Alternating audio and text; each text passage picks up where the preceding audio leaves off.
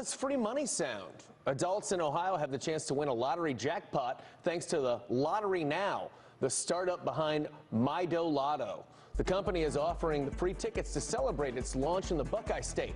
That's good for both Powerball and Mega Millions tickets. You just need to be 18 years or older to download the Mido Lotto app and claim your free ticket between now and October 15th. Good luck, everybody.